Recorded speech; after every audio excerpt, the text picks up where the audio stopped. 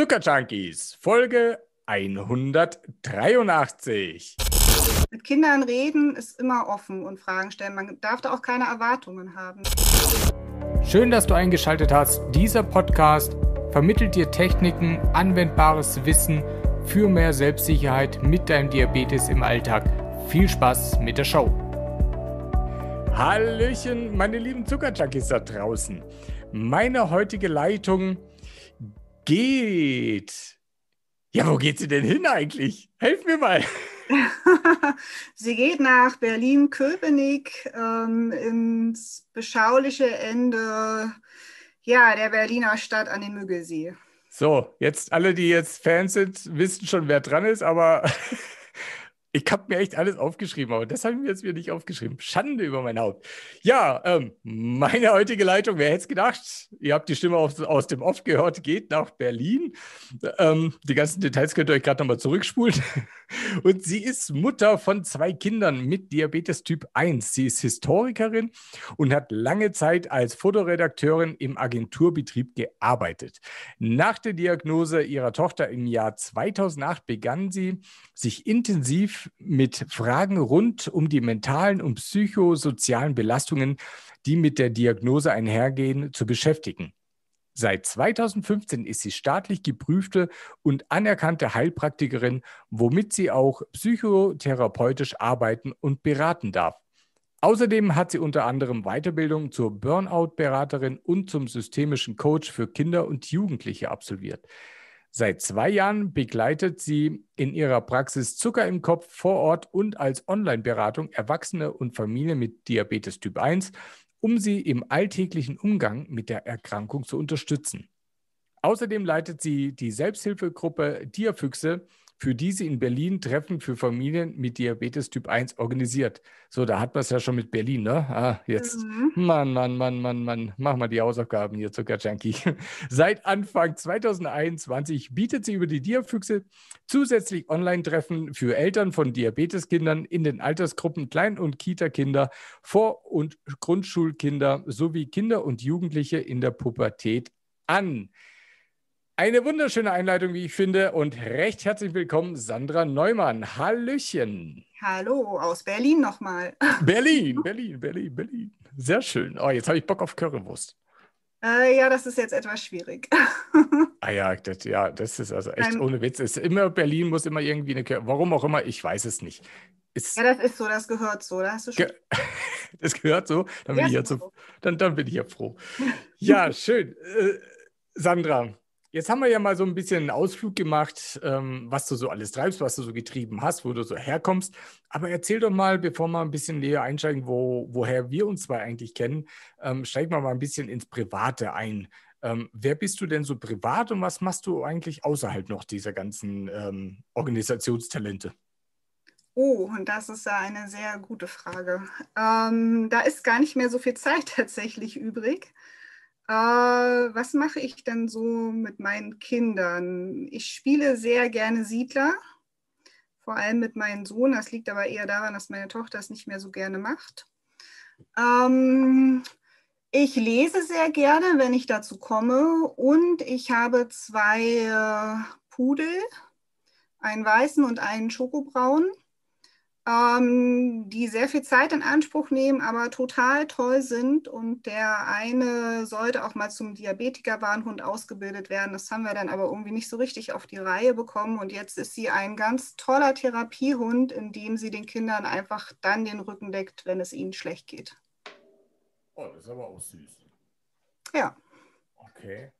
Ja, also das ist ja gut strukturiertes Privatleben. Heiland, Mailand. Kann man so sehen. Nein, es macht aber Spaß, alles unter einen Hut zu bekommen und ähm, ja, in jedem einzelnen Bereich einen Ausgleich zu finden. Das ist auch wichtig, ja. Also ähm, es soll ja letztendlich irgendwie alles Spaß machen und nicht alles irgendwie zu einer Belastung werden. Ich meine, äh, da muss ich dir als Coach ja jetzt gar nichts erzählen. Genau. Ja, das ist ja das A und O. Ja, wir zwei haben uns Oh, über, ich überlege jetzt gerade, wo haben wir uns denn ganz, ganz, ganz, ganz als erstes äh, über. Ich auch gerade. Was, ich überlege jetzt gerade, war es der. Na, ich, ich bin der Meinung, wir haben uns in Berlin auf dem Weltdiabetes-Erlebnistag kennengelernt oder war es der T1 Day in Berlin? Ich glaube, es war tatsächlich ähm, schon der T1 Day, ähm, wo ich den einen Stand hatte für, das, äh, für die Praxis Zucker am Kopf, für das Coaching. Und ich glaube, da sind wir uns über den Weg gelaufen. Ich meine aber, dass wir uns vorher schon geschrieben hatten. Gell? Irgendwie, weil du warst ja irgendwo immer ein bisschen präsent. Ja, ein bisschen. Ja, ja und da habe ich dann ähm, ja irgendwas. Ähm, Pelziges auf dem Tisch, glaube ich, auch. Das war auch dann äh, auch auf dem T1 Day. Und das war zwar T1 Day, genau. T1 Day, ne? Und das ist ein Bärchen. Da habe ich ja auch schon erst gedacht, was hat er so für komische Flecken auf seinem Körper? Das ist Jerry the Bear, ja. ja. Äh, und Jerry the Beer oder wie auch immer. Und der Kerle, die arme Sau, hat das, was wir alle auch haben wollen oder noch kriegen werden oder wie auch immer, und zwar Diabetes. Erzähl doch mal bitte, erstens mal, wie kommst du überhaupt auf die Idee, dir so einen Bär zu besorgen? Woher kommt dieser Bär und was machen wir mit dem Bär? Aber fangen wir doch mal erstmal an, warum hast du dir so einen Bär besorgt? Ähm, ja, also ich fand das immer sehr schwierig, ähm, als ich, also als ich die Praxis und das Coaching noch nicht hatte, ähm, mit meiner Tochter, die ja bei der Diagnose vier Jahre alt war, ähm, dieses, diese ganzen Therapiemaßnahmen ihr nahezubringen. Ähm, Emmy war ein sehr wütendes Kind zu dem Zeitpunkt, also nach der Diagnose. Und ich war eigentlich immer auf der Suche nach etwas, ähm, das es ihr leichter macht. Und ich fand es immer sehr, sehr schade, dass es das nicht gab. Und ähm, Jahre später, als ich dann mit der Praxis angefangen habe, war ich mal wieder auf der Suche tatsächlich für meine kleinen Klienten beziehungsweise die Familien und ähm, bin dann auf Jerry the Bear gestoßen, ähm, der tatsächlich aus den USA kommt und ähm, ja, wie du sagst, Jerry ähm, ist ein, ein Plüschtier, ein Plüschbär, der Diabetes hat. Und es gibt dazu eine passende App, ähm, mit der ähm, ja das komplette Diabetesmanagement eigentlich nachgespielt werden kann. Okay, Und, wie, ja? Ja. wie, äh, weil du gerade sagst, nachgespielt werden kann. Wie ist ja. denn da so die, die Rollenverteilung? Ähm, sitzt da Mami und Papi? Letztendlich davor und erklärt dann anhand des Bären. Ich meine, jetzt, weißt wir haben ja so diesen, ich sehe gerade so für mich persönlich gleich einen Konflikt. Das Kind hat ja Diabetes. Ja. Das Kind braucht jetzt eine Therapie, das Kind braucht jetzt die Nadel, das Kind sollte jetzt essen. Äh, aber es geht ja mehr um das Thema dann, okay, Pieksen, äh, dann, ich, wollte gerade sagen, Closed-Loop-System, äh, das Pumpensystem ja, so und so weiter. Genau. Ähm, wann erkläre ich denn dem Kind mit der App, dass wir jetzt irgendwas, weiß, es muss ja jetzt getan werden. Ich habe doch jetzt nicht so mhm. viel Zeit, mit dem Bär da rumzuspielen oder, oder wie kann ich mir das vorstellen? Genau, also ähm, ich rede jetzt nicht von den ersten zwei Wochen. Ne? Also die ersten zwei Wochen sind tatsächlich so, ähm, es kommt bestenfalls ähm, zu einer schnellen Diagnose, dann kommt der Klinikalltag bei kleinen Kindern zwei Wochen, Papa oder Mama gehen mit in die Klinik und ähm, es muss erstmal alles irgendwie funktionieren. Eltern müssen unheimlich viel lernen in dieser Zeit.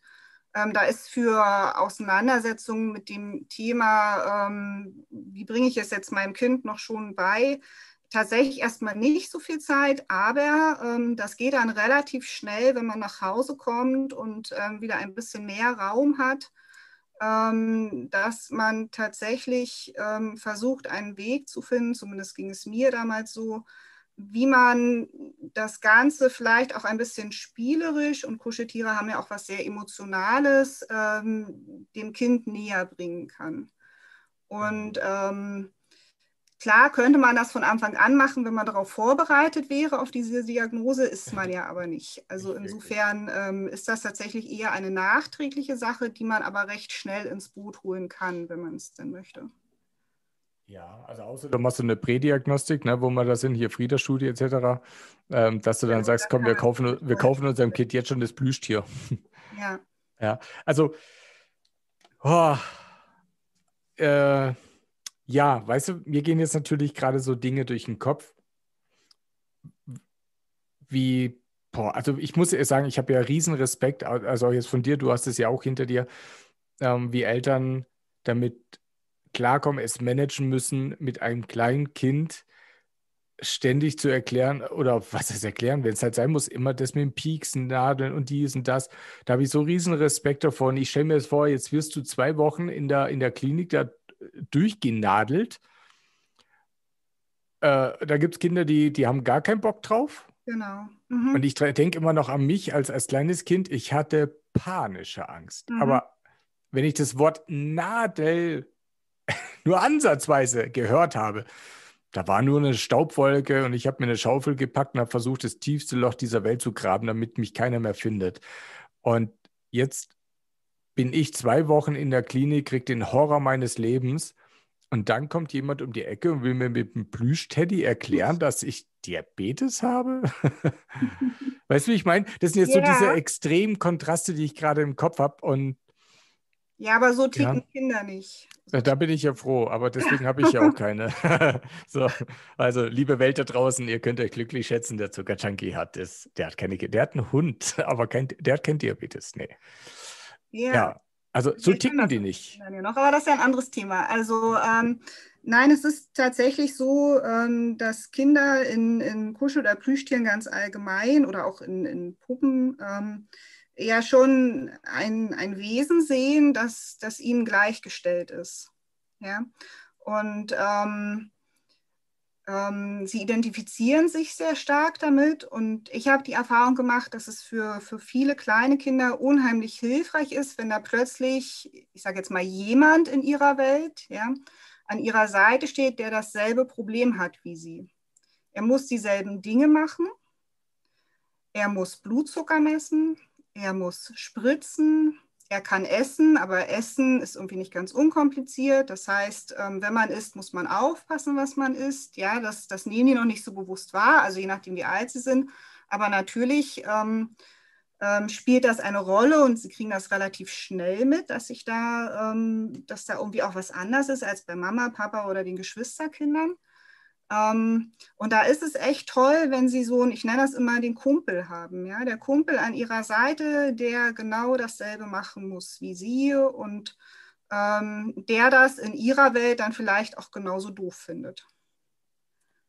Und ähm, das finden die ganz gut, weil sie darüber halt ihre eigenen Gefühle gut darstellen können. Ja? Also man kann zum Beispiel, wenn man Wut empfindet als Kind, ähm, dann ist der Teddy vielleicht auch gerade wütend, ja, und das macht das einfacher, weil du kannst es teilen.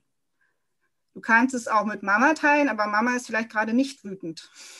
Ja? Okay. Mhm. Teddy ist immer wütend, wenn das Kind es will. ah, also können die durchaus, das, ich meine, das habe ich schon mal irgendwo auch gesehen, gehört, gelesen, so eine Therapieform, dass man quasi diese ganze Assoziation über den Teddy laufen lässt. Genau, also das ist dann quasi eigentlich schon ein Schritt weiter, ähm, der aber schon ähm, sehr viel auch damit zu tun hat. Du kannst zum Beispiel sehr gut über diesen Teddy, das kann auch ein anderes Plüschtier sein, das dann halt eben Diabetes hat, ähm, du kannst darüber sehr gut Fragen stellen. Ne? Also du kannst zum Beispiel ähm, fragen, jetzt nehmen wir mal an, das Kind hat jetzt Schmerzen beim Katheter setzen, ja, oder hat Angst davor und es gibt tatsächlich jedes Mal Theater, was echt nicht selten ist. Und man kann dann immer schlecht dieses Kind so fragen, ja. Also die sind da noch nicht so gut in der Lage, darauf zu reagieren, auf solche Fragen. Aber was die Kinder total gut können, ist darüber Auskunft geben, wie es ihrem Kuscheltier geht. Ja, und dann kannst du zum Beispiel fragen, wo tut es denn genau weh beim Kathetersetzen? Ja, wie sehr tut es weh? Wie fühlt es sich dabei? Man kann auch total schön fragen, ähm, wie kann man denn dem Kuscheltier, in unserem Beispiel jetzt Jerry, dabei helfen, dass es nicht mehr so weh tut, ja, oder dass er weniger Angst davor hat. Und dann kann man gucken, je nachdem, wie das Kind reagiert, ob man es fragen möchte, ob das Kind sich vorstellen kann, dass es genau mit demselben, mit derselben Hilfsmaßnahme, die es für sein Kuscheltier vorgeschlagen hat, dass es ihm damit vielleicht auch leichter fällt. Ja, also man kann das so ein bisschen versuchen, um die Ecke zu lenken. Und da sind die echt redefreudig, die Kids. Wenn sie denn schon reden können, wenn sie noch nicht reden können, sind sie ziemlich gut im Zeigen. Ne? Also wenn man mhm. fragt, wo tut es denn weh, dann können die auf das Kuscheltier genau an die Stelle zeigen. Mhm. Ist das dann, oh, das ist ja süß, dass wenn, wenn die die Lösung beim Teddy sehen, ja. oder die vorgeschlagene Lösung, wo man sagen, okay, guck mal, glaubst du, dass dies oder jenes ihm jetzt damit irgendwie besser tut oder es ihm hilft? Mhm. Ja, wollen wir das mal bei dir auch ausprobieren? Machst mal dann quasi so die Umkehrfrage und die nicken dann fleißig und sagen, ja, wir wollen das jetzt mal auch ausprobieren? Kann passieren, ja. Cool. Also es ist ja immer offen. Ne? Also mhm. Mit Kindern reden ist immer offen und Fragen stellen. Man darf da auch keine Erwartungen haben. Ne? Also man, man kann fragen und man kriegt Antworten und dann geht man mit denen irgendwie um, sage ich mal, ja. Und man kann das Kind fragen, ob es sich das vorstellen kann bei ihm auch hilft. Vielleicht sagt es auch, nein, ich brauche etwas ganz anderes. Ja, auch dann hat man wieder den Weg gefunden. Also das, das ist so, so ein Schritt für Schritt. Ja. Und das kann auch sein, dass das nicht beim ersten Mal oder beim zweiten Mal geht. Dann wiederholt man das ab und an. Ja, aber ich würde das immer sehr spielerisch machen. Ich würde das nie mit Druck machen oder mit einer Zielerwartung. Ne? Also ja. wir, wir, neigen ja immer damit, weil wir natürlich auch helfen wollen, weil es ist ja auch für uns ähm, total schlimm zu sehen, wie, wie die darunter leiden, wenn, wenn jetzt jedes Mal Schmerzen wahrnehmen oder Angst haben vor Katheter setzen. Das ist ja auch für uns ganz schwer recht auszuhalten. Und da wollen wir natürlich helfen und möglichst schnell eine Lösung finden. Und manchmal braucht es halt einfach ein bisschen Zeit. Ja, ja. ja das ist wichtig. Sonst hast du gleich wieder das ganze Trauma. Genau. Das brauchst du nicht. Was kann denn der Jerry so alles? Was, was, was, kann man, was kann man mit dem Kerle denn so anstellen? Ja, also man, man kann das ein bisschen trennen tatsächlich. Also es gibt ja diese App, ähm, die man ähm, sich kostenlos aufs Handy runterladen kann. Ähm, das geht auch für, für alle Handyarten. Ähm, und es gibt diesen Teddy dazu. So, aber es funktioniert unabhängig. Und ähm, man kann quasi ähm, schon allein mit dieser App nachspielen. also Jerry kommt dann als, als Trickfigur, sage ich mal, in diese, in diese App drin vor. Und ähm, der muss dann alles machen, was man mit einem Diabetes eben so machen muss. Ganz schön ist das beim Blutzuckermessen, auch wenn das heute nicht mehr so die Regel ist, aber es äh, findet ja doch noch ähm, recht häufig statt, auch bei Kleinkindern zur Gegenkontrolle. Ähm, dann ist es wirklich so, dass Jerry sich erstmal die Hände waschen muss. Da gibt es dann so einen Brunnen, der da aufgemalt ist und man sieht dann auch so ein paar Schmutzpartikel auf den Händen. Und dann braucht er dafür Seife und dann muss er sich ordentlich abtrocknen, weil sonst funktioniert das Ganze nicht. Dann muss man ähm, über den Bildschirm einen Teststreifen in das Messgerät stecken, aber alles sehr schön ähm, kleinkindfreundlich gestaltet. Dann ähm, gibt es eine, eine Stechhilfe, mit der man in den, den Jerry-Finger sticht. Ja, und dann kann man Blutzucker messen. Und dann erhält man einen Wert ähm, und je nachdem, wie der Wert ist, sagt Jerry dann, wie er sich fühlt. Also entweder alles ist gut oder hm, ich glaube, mir geht es gerade nicht so gut, ähm, wir müssen irgendwas machen. Mhm. Stechhilfe? Ähm, also habe ich wirklich eine Stechhilfe, mit dem ich dann dem, in den Finger piekst oder simuliert es quasi übers Handy den Bildschirm so eine Art Stechhilfe oder wie läuft das? das? Genau, das simuliert den Bildschirm wenn du den Teddy hast, ähm, dann ist es so, dass du das Handy quasi dann an die Hand ranhältst und dann ähm, ähm, ja quasi damit die Stechhilfe dann auslöst. Hat es so einen Sensor oder ähm, wie kann ich mir das vorstellen? Oder sind das einfach nur Punkte und ich drücke halt auf dem Handy drin, dran rum, dass ich jetzt gerade pieks?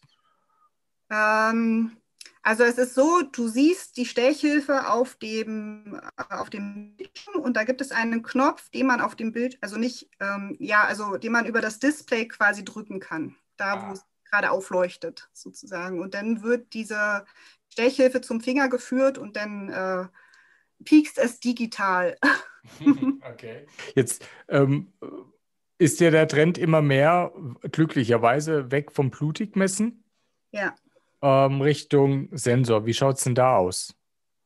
Also es ist leider so, ich habe mir das vorhin auch nochmal angeguckt, weil ich das jetzt auch nicht mehr so genau wusste, weil ich diesen Teddy ja jetzt auch hier habe, ähm, dass man ohne den Teddy, also wenn man nur die App hat, ähm, gibt es keine Sensorfunktion, aber wenn man den Teddy hat, dann kann man das tatsächlich auch ähm, wie mit einem CGM probieren und, und nachspielen. Cool, cool. Ja. okay. Also geht schon in die nächste Richtung, wo man sagt, einmal applizieren und dann hast du halt ein CGM. Genau. Okay, cool. Gut, jetzt haben wir also ähm, Hände waschen, wir haben den Blutzucker gemessen, ähm, wir haben jetzt quasi irgendeine Kurve, die kann jetzt natürlich im Keller sein, die kann normal sein, die kann hoch sein, die kann vorm Essen sein, die kann nach dem Essen sein. Genau. Gibt es diese Szenarien dann, dass der einfach was simuliert? Stelle ich das ein als Elternteil, wo ich sage, okay, komm, wir machen mal so Hölle auf, auf mm. Erden und geben jetzt mal so richtig Gas, dass mein Kind schwitzt? Äh, also oder der Teddy, wie kann ich mir das vorstellen? Wer, wer verändert diese Werte? Das brauchen wir als Eltern gar nicht machen. Das die, können die Kinder, wenn die ein bisschen älter sind, auch schon gut allein. Nein, das ist, äh, ähm, das kannst, also es ist kein, es ist keine Lern-App, ja. Also es ist wirklich ein Spiel, ja. Also ähm, es ist jetzt nicht so, dass du eins zu eins ähm, das äh, Diabetesmanagement deines Kindes über diese App ähm, dem Kind näher bringen kannst. Das fände ich total super, wenn es das gäbe für Kinder. Ähm, das gibt es leider, soweit ich das weiß, nicht. Ähm, aber was man damit eben tatsächlich machen kann, es gibt eine, äh, Jerry hat eine Küche ähm, in seinem Haus und Jerry kann dort essen und zwar so viel, wie er will. Und ähm, die Kids testen natürlich schon ganz gerne mal aus, was passiert eigentlich, wenn ich 20 Donuts esse. Ja? Ah, Beziehungsweise ja, wenn Jerry die isst. Ja, sie essen ja. nicht, sondern wenn Jerry die isst. Ja, ja gibt es ein Update, jetzt Typ 2. so schnell geht das jetzt.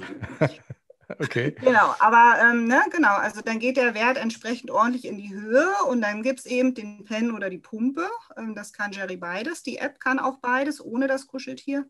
Und dann äh, musst du halt gegensteuern. Ne? Aber es ist jetzt keine 1 zu 1 oder Live-Simulation. Ja, also das ist schon Spiel auch. Mhm. Aber ich finde gerade dieses Spielen und dieses Austesten, was passiert eigentlich, wenn oder wenn ich mal auf der Insulinpumpe, keine Ahnung, ohne dass Jerry was gegessen hat, ähm, für Jerry 20 Einheiten eingebe. Mhm. Ja. ja. Ähm, und, und die können das, wenn man denen das gut erklärt und gut begleitet dabei, dann können die das echt ähm, unterscheiden. Ja. Und die sehen eben, dass es Jerry dann schlecht geht. Ja, das mhm. ist das, was sie lernen man kann es ja richtig runterbrechen für, für den Anfang. Einfach grün ist gut, rot ist nicht gut. Ja, und dann müssen die halt lernen, was ist Unterzucker und was mache ich dann mit dem Bären. Dass man einfach lernt, bei so Basissachen erstmal zu reagieren. Genau. Ne? Okay. Und es ist auch so simpel gestrickt, ja. Also man kann da jetzt keine große Wissenschaft rausholen. Es ist für kleine Kinder. Ich glaube, die Altersangabe ist vier bis neun. Also ja, äh, klein auf jeden Fall, ja. Ich habe jetzt gerade mir mal schnell, also ähm, ihr wisst da draußen, ihr müsst nicht mitschreiben, ich hau alles in die Show Notes, also ne, in die ganzen Notizen von dem Podcast. Da gibt es auch hier Stories and Tasks und da geht es über 21 interaktive Stories Important bla bla Diabetes. Also es geht schon wirklich in diese, in diese Geschichte ähm, mit, mit dem Diabetes. Also so ein paar Learnings gibt es dann nachher schon. Ich weiß zwar noch nicht, wo die auftauchen, ob die auf dem Handy sind. Weißt du da irgendwas? Wo bist du jetzt gerade? Also auf, auf der Webseite. Von äh, Jerry? Genau, genau, ja. Ah, okay. So, und, und da gibt es eben dann diesen, diesen Bereich, wo es halt heißt, äh, dass man jetzt den Jerry auf seine Reise äh, irgendwie begleiten kann. Und das sind so interaktive Stories, wenn ich ah, das jetzt okay. so richtig interpretiere. Und ja. eben um, um das Thema, was du schon gesagt hast, das Thema äh, Diabetes, ja, also was, was lerne ich, ja. Und ich, also jetzt frei übersetzt, haben die das im Endeffekt mit, äh, mit, dem, mit Ärzten und Pädagogen und so weiter entwickelt, um halt auch ein bisschen mehr Learnings reinzukriegen in das ganze Thema. Also ja. die sind da schon am Wursteln. Also ich finde das jetzt brutal spannend. Ja. Ja, ja ich, ich auch. jetzt muss man natürlich mal, jetzt will ich das mal wissen, was, was für eine Zahl Kanada, United States, International, ja, International. Oh ja, spannend. Das Ding auf Deutsch oder nur auf Englisch? Hm, also es ist leider tatsächlich das große Manko, dass es das nicht auf Deutsch gibt, sondern auf Englisch, Französisch und Spanisch. Französisch. Hätten die sich mal die Zeit gespart, verdammt. Wer will das denn? Bitte. Ja, ich habe die auch mal angeschrieben, aber Deutsch steht leider nicht so wirklich auf dem Plan, glaube ich. Aber Französisch. Ähm, aber Französisch. Ey, nur wegen Toronto und noch ein paar Randländer. Ach, kommt. Kann schon sein, ja. ja. Äh, jedenfalls, ähm, ja, das ist so, dass so diese, diese Stories, das sind so äh, Geschichten. Ähm, Jerry möchte gerne ähm, jetzt habe ich den Namen vergessen, an, an einer äh, sportlichen Veranstaltung teilnehmen. Und ähm, es gibt dann so immer kurze Geschichten, die Kinder sich angucken können, ähm, wie halt erzählt wird, wie so sein Alltag ist und wie er dafür trainiert. So, und die kann man immer so im Laufe der Zeit Stück für Stück freischalten und sich angucken. Das ist tatsächlich das Manko mit der Sprache.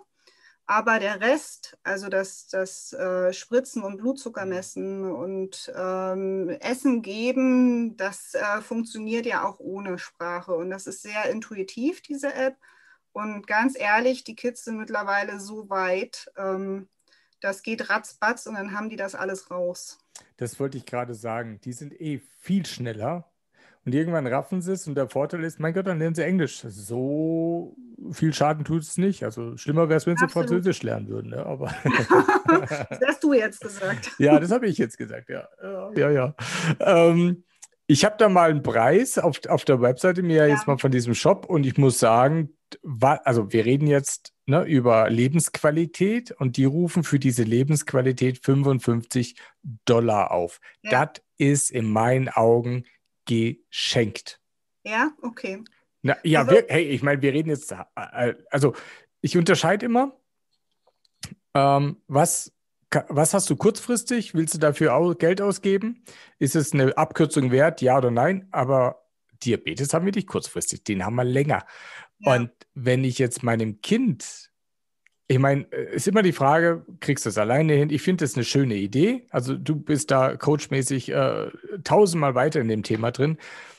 Ich denke aber, ich, ich würde ich, ich würde jetzt gar nicht mal anfangen zu denken. Ich würde diese, diesen Bären mir aber so, so dermaßen holen. ja. Ähm, Liebe ja. auf den ersten Blick, ja. Ja, weil ich die, so wie du es halt erklärst, wenn du so einen Buddy hast, ich meine, keine Ahnung, genau. ob ich jetzt mit dem Teddy immer durch die Gegend gerannt bin. Ähm, ich habe jetzt keine Ahnung, was das an Versandkosten sind, aber hey, man, man gibt äh, für so viel Scheiß, anders kann ich nicht sagen, 55 Euro aus oder Dollar oder wie auch immer, ist ja völlig egal. Und äh, so ein Teddy, der, äh, der zerfällt ja nicht äh, zum Frühstück, außer der Hund hatten vielleicht mal.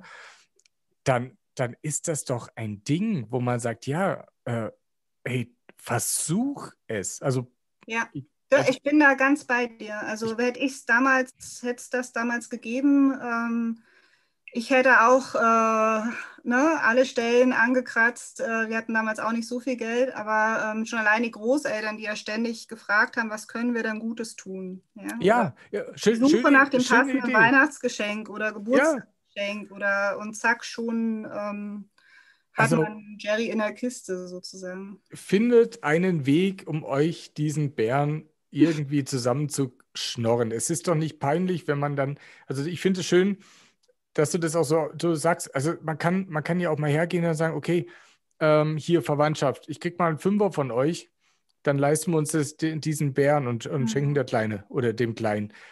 Ich finde es, auch wenn man nachher nicht mit der Therapie rumeiert, ja, aber man kann ja dann mit dem Teddy schon mal anfangen. Äh, ich finde ich find die Idee super. Ja, ich würde mich natürlich freuen, wenn das Ding dann auf Deutsch ist. Auf der anderen Seite, heutzutage werden wir ja relativ schnell mit Englisch oder mit Denglisch großgezogen. Ja, äh, dann lernen sie halt nicht, yo, krass, sondern yo, piep, was auch immer. Ja, genau. ich, ich kann nur komische Wörter, die kann ich jetzt nicht senden, sonst muss ich auf 18 kennzeichnen. Und also ich bin jetzt total positiv überrascht. Ich dachte, da steht eine dreistellige Zahl. Ah, okay. Nee, ja. also ähm, und ich finde, das Schöne ist ja eben tatsächlich, du kannst dir die App kostenlos runterladen und sie funktioniert auch ohne Kuscheltier, also ohne Jerry. Und du kannst es dir erstmal in Ruhe angucken. Ähm, ich finde nur, dass ähm, der Teddy tatsächlich nochmal so das gewisse Etwas dazu bringt, weil es ist was Haptisches, das können die Kinder anfassen, das kann man in den Arm nehmen, das kannst du mit in die Kita nehmen.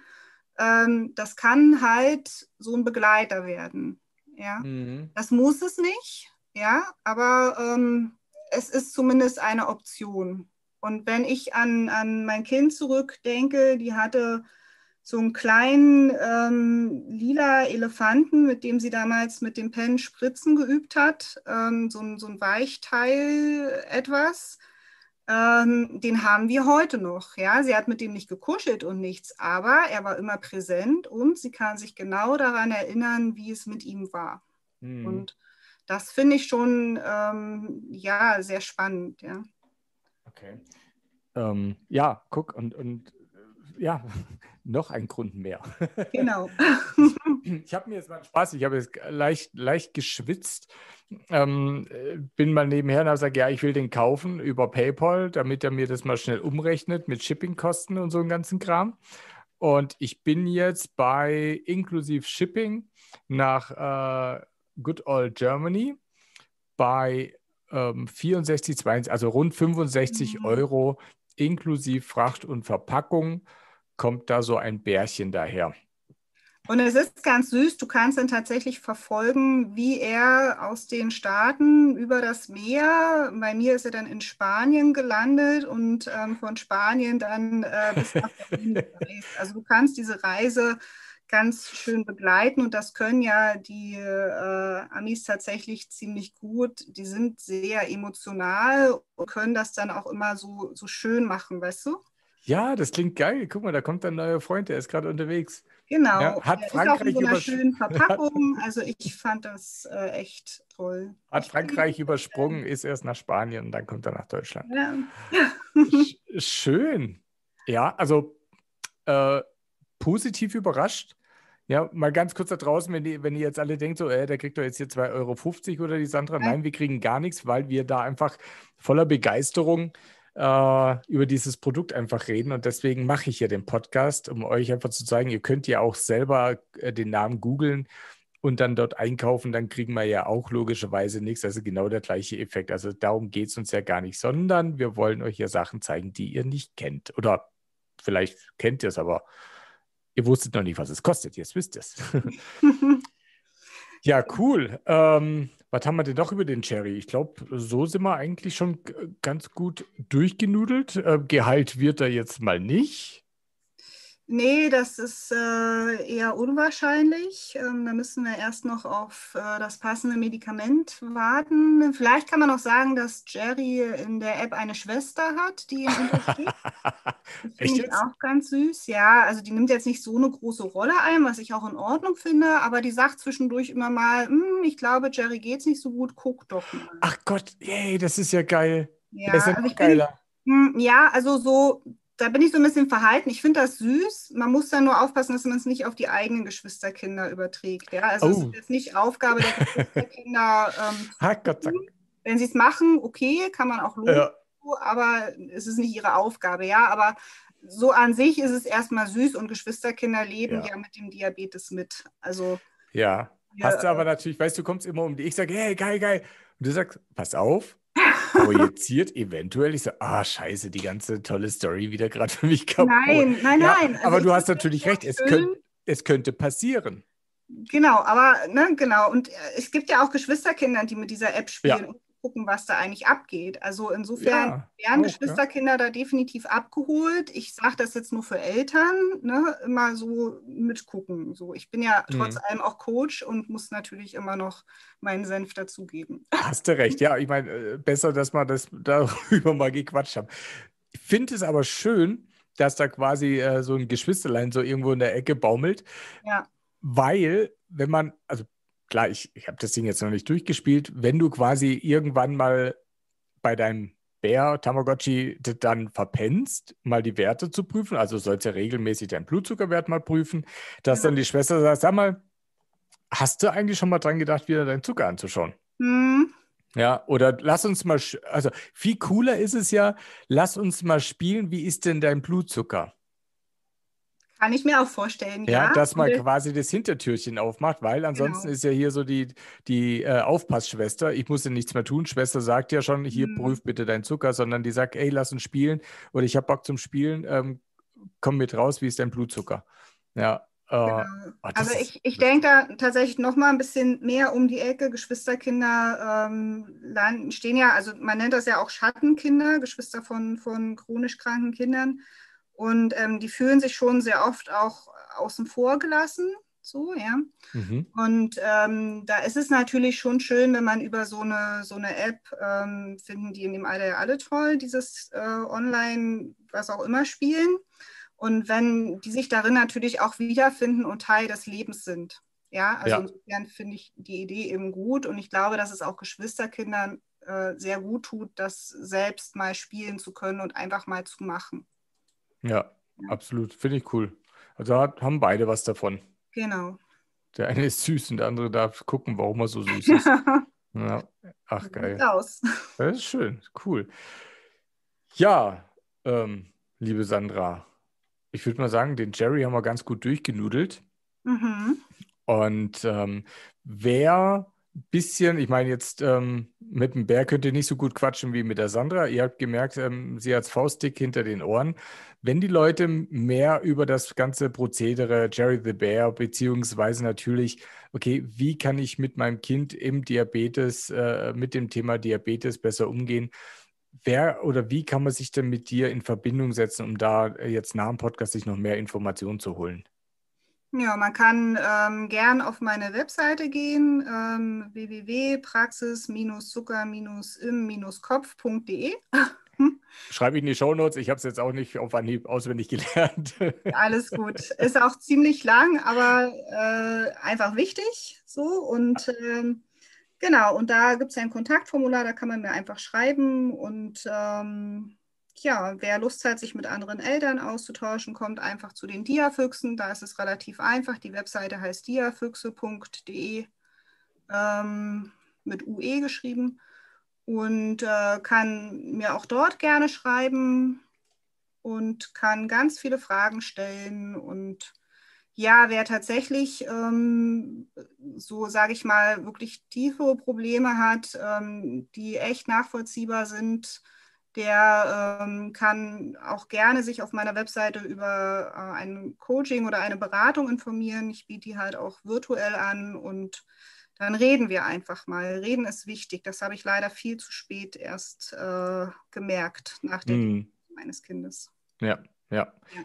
Aber deswegen kannst du dein, ja, Wissen, was du daraus gezogen hast, natürlich genau. gleich anderen mitteilen ne, oder, oder weitergehen. Finde ich schön. Genau, das war der Grund tatsächlich, warum ich das geworden bin, was ich heute bin. cool.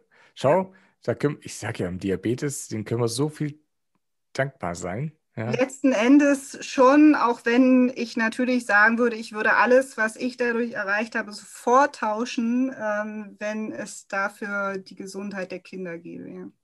Ja, äh, davon gehe ich dann natürlich aus. Nicht, dass sie sagen sollen, nee, jetzt hast du schon so lange gespielt, ich bleib Coach. Was bist du? Ja, nimm den Te Teddy und geh. okay, cool.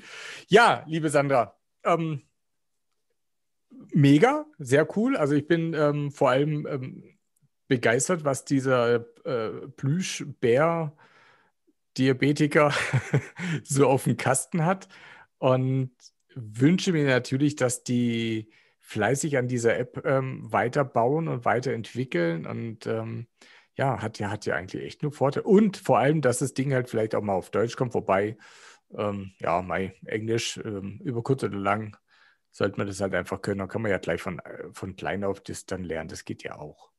Das stimmt, da ist was ja. dran. Ja, vielleicht findet sich ja jemand, der das äh, in Deutschland noch ein bisschen perfektionieren möchte und keine Ahnung, ein bisschen mehr Ahnung von Technik hat. Ja, beispielsweise derjenige, der jetzt Podcast hört und sagt, hey, klar, ist mein Ding, ich rufe die mal an. Genau. ja, meine äh, liebe Sandra, wir sind ähm, am Ende der, der heutigen Folge. Ähm, wir zwei wissen, wir haben noch ein paar andere Themen, also lasst euch überraschen, da wird schon noch was kommen. Und ja, du als mein heutiger Gast, ich, falls ich jetzt irgendwas vergessen habe, dich noch zu fragen, bestimmt habe ich das, äh, sollst du äh, trotz allem das letzte Wort haben als Gast. Und ähm, ja, was du jetzt auf dem Herzen hast, darfst du natürlich jetzt noch ganz gerne raushauen. Mm, also ich finde, wir haben tatsächlich erstmal alles besprochen dazu. Es gibt natürlich noch viele spannende andere Themen, ähm, wie du ja gerade auch gesagt hast, auf die ich mich auch schon freue, dass wir darüber reden ähm, gerade was äh, Kinder und Eltern ähm, und Diabetes betrifft. Und ja, ich fand es sehr interessant. Ich fand deine Fragen sehr spannend. Waren auch ein paar dabei, wo ich äh, erstmal nicht mit gerechnet habe. ähm, sehr schön. Freue mich aufs nächste Mal. Ja, wunderbar. Ich mich auch. Ja, vielen lieben, lieben, lieben, lieben, lieben Dank, Sandra, für deine Zeit. Und äh, Jerry the Bear, ähm, ja, ich, eigentlich hoffe ich, dass äh, dich keiner hier in Deutschland sehen muss. Aber wenn, dann ähm, bist du flauschig. Genau. In diesem Sinne, ich freue mich, wenn wir uns irgendwann im realen Leben sehen. Ansonsten werden wir uns ähm, ja, demnächst wieder digital sehen. Bis dahin. Tschüss. Ciao. Okay, jetzt bist du dran. Wenn dir dieser Podcast gefallen hat, dann abonniere diesen Podcast und du verpasst keine Folge mehr. Teile diesen Podcast auch mit deinen Freunden, Bekannten und Verwandten, denn jeder kennt irgendeinen Zuckerjunkie. Eine Bitte habe ich jetzt noch, geh auf iTunes und bewerte diesen Podcast mit 5 Sternen und gerne auch mit einem Kommentar, was dir gefallen hat oder welche Folgen du ganz gerne mal hören möchtest. Wenn du mehr über die Zuckerjunkies wissen möchtest, besuche auch meinen Blog zuckerjunkies.com. Dort findest du natürlich noch viel mehr über das ganze Thema Diabetes. Und bis dahin, wir lesen und hören uns. Bis bald.